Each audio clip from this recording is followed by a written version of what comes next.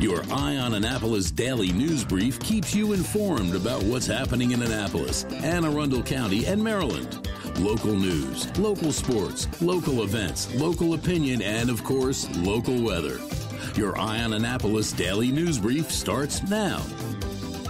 Good morning. It's Tuesday, July 6th, 2021.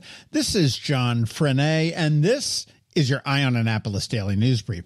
I hope you had a fantastic long weekend. I sure did. The Annapolis Maritime Museum invited me to sail in with the tall ships on Friday afternoon into the harbor with the fireboats and everything else. And that was an amazing sight to be out there in the harbor on those ships as they're coming in. Unbelievable. Saturday, I marched in the parade with Leadership Anne Arundel, and to be honest, I much prefer watching a parade rather than being in it like they say, unless you're the lead dog, the view never changes.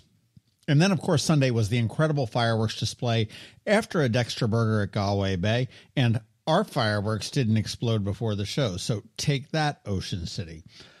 Okay, it is the start of a short week, and there is a lot to get you caught up upon, so let's get into it, shall we? All right, follow along if you can. A while back, Governor Hogan said that he was ending the federal unemployment program that gave the unemployed peeps an additional $300 a week. It was supposed to end on Saturday. He said there are plenty of jobs and businesses looking for employees. The unemployed peeps freaked out and basically sued the governor. Well, on Friday, Baltimore Circuit Court judge said, wait a minute, and issued a temporary restraining order. The unemployed rejoiced. The governor appealed, and the appeals court threw it out, sending it back down to the circuit court. The unemployed rejoiced again for now. But sending it back, it sets up a conference between both sides as early as today to make a final decision on the case. The unemployed fretted, but my bet is that, like County Executive Pittman, the governor is going to lose this battle. At 3 a.m. on July 3rd, the Annapolis police were called to Anne Arundel Medical Center for a shooting victim. A 13 year old was being treated for a gunshot wound to the leg, and when questioned, he said that he had accidentally shot himself while at an address on Benz Drive in the Bay Ridge Gardens community. But it doesn't seem like police are buying this, and the detectives are looking for more answers. If you have them, give them a ring at 410 260 3439. And just after 7 a.m. on July 4th, the Anne Arundel County Police were in the Bay Ridge community investigating a report for a missing person. While they were there, they discovered a body in the waters of Lake Ogleton off of East Lake Drive. Details have not been released just yet, so it's unknown if the body is that of the one that they were looking for or someone else. We do expect more details and information a little bit later on this morning, so you want to make sure you're checking back at eyeonannapolis.net for an update. Now, this is a really cool story. There's a fire department called the Chestnut Ridge Fire Department in Sneedville, Tennessee, population 1486. Now, Sneedville's only fire engine broke and was not operable, so all they had was a homemade tanker and a brush fire truck, most likely a Jeep. Enter the Ferndale Volunteer Fire Company up in Linthicum. They had a 1994 engine that was about to be replaced, and they were planning on selling their old engine but they heard of the need in Tennessee and decided to donate it to them. How cool is that? And to boot, they are now adopting the fire department in Tennessee, and I suspect there will be tied to a lot more equipment swapping and tool swapping and gear headed down to rural Tennessee in the future. What a great way to be a good neighbor. Speaking of good neighbors, Homestead Gardens is always looking for ways to help the community, and recently they found a need in Robinwood and Harbour House communities of HACA. They donated a truckload of plantings to help beautify the properties, and together with residents and a handful of Rotarians, they planted the place up. Thank you, Homestead, for always being a good neighbor. And, by the way, their float in the parade on Saturday was off the hook sharp. And as we start to wrap it up, it was so great to see unmasked crowds this weekend. It is a sure sign that things are returning to normal. And here's another one the Let's Go Music Festival. It is happening at the Anne Arundel County Fairgrounds on July 16th and 17th. Tickets are available at letsgofest.com and the VIP is already sold out. However, they do have general admission tickets still available.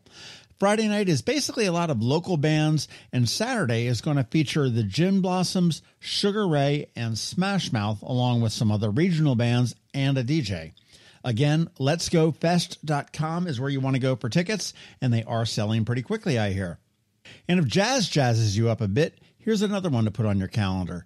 Jazz on the Narrows. It'll be a three day festival August 13th through 16th at the Kent Island Yacht Club. And this one will feature some incredible musicians, and it is put together by literally jazz royalty. Muddy Waters' daughter, who I didn't realize is a local resident, her name is Mercy, and she is putting this whole thing on. Tickets are on sale now at, appropriately enough, jazzonthenarrows.com. So go get your tickets right now. And I am so glad to see festivals coming back. That's just makes my heart feel good. All right, that's it for the news today. But first, a quick thank you to the sponsor for the daily news brief, Solar Energy Services up in Millersville, and to the Kristi Neidhardt team of Northrop Realty, a Long and Foster company, and to Rehab 2 Perform, who will be opening up at 1750 Forest Drive very soon. Alrighty, now hang tight. George Young from DCMDVA Weather is here with your locally forecast weather, and he'll be here right after we hear from Rick Peters from Solar Energy Services. Are you interested in an exciting career in one of the hottest industries of the next decade? At Solar Energy Services, we're currently hiring solar installers, crew leaders, service techs, and sales representatives with immediate needs in all categories.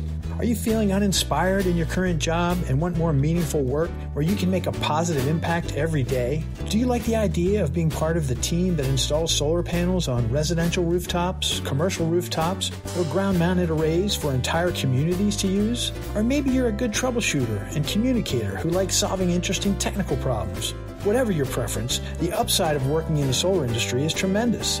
Contact us today about joining a great company with a rewarding culture and an inspiring mission.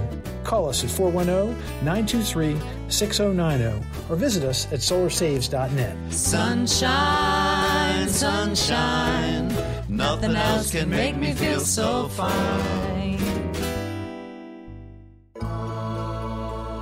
When you live near Annapolis, you know how fickle the weather can be. So you need a truly local forecast that's accurate and reliable. Forecast right here in Annapolis.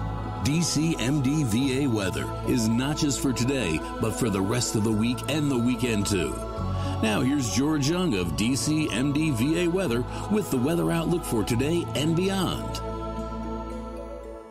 Hey everyone, this is George with DCMDVA Weather, and this is your Eye on Annapolis forecast for Tuesday, July 6th. Yesterday brought a return to heat and humidity after a pretty nice holiday weekend, and summertime conditions will remain in place for the foreseeable future. Look for plenty of sunshine today with humid temps in the 90s, followed by more of the same tomorrow with a slight chance of PM storms both days as heat index values each day jump up into the 95 to 105 degree range. As for Thursday and Friday, it'll be upper 80s to lower 90s both days with a likelihood of some rain each day, especially as the remnants of what is Tropical Storm Elsa moves by to the south and east of the region, bringing some breezy conditions as well, but nothing too severe should be associated with that storm. And it'll be more upper 80s to lower 90s for the weekend, with Saturday looking fairly dry, while a return of PM storms could be in the mix on Sunday.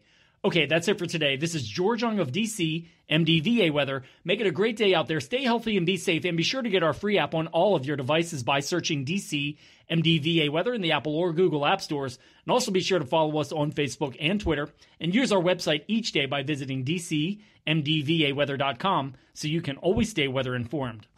Another moving moment from Kristi Neidhardt of the Kristi Neidhardt team from Northrop Realty, a Long and Foster company. Hi, I'm Kristi Neidhardt. My team and I often get asked, is now a good time to make a move? The answer is absolutely.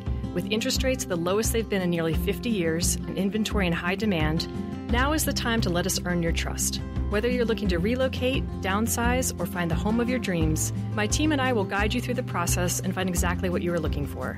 Serving people is a passion of mine, and it's what my team does best. That's the Neidhardt difference. That's another moving moment from Kristi Neidhardt. To get in touch, call 410 295 6579 or visit kn team.com. That's kn team.com. Cancer will touch everyone in some way at some point in time. In 2021, nearly 35,000 Marylanders will be diagnosed with some form of cancer. It's a diagnosis we all hope never to hear, but there is some encouraging news. The five year survival rate for all cancers has increased to nearly 70% in the past 50 years, and many cancers are treatable. From diagnosis through treatment, living with cancer is trying not only for the patient, but for family and loved ones as well. It's a team effort, and Wellness House is part of that team with free services and programs for children, teens, adults, patients, and families. Wellness House offers the strength and support needed so a cancer patient can focus on recovery and healing. Wellness is rising at Wellness House of Annapolis, where we are transforming health into wellness beyond a cancer diagnosis. To find out more about our programs or to support our mission, visit AnnapolisWellnessHouse.org. You've been listening to the Eye on Annapolis Daily News Brief. Tell your friends and colleagues this is the podcast where you can keep up on the latest with what's going on in Annapolis and Anne Arundel County. And don't forget about our website, eyeonannapolis.net, where you can find even more information. And make sure you follow us on Facebook at All Annapolis and on Twitter at Eye on Annapolis.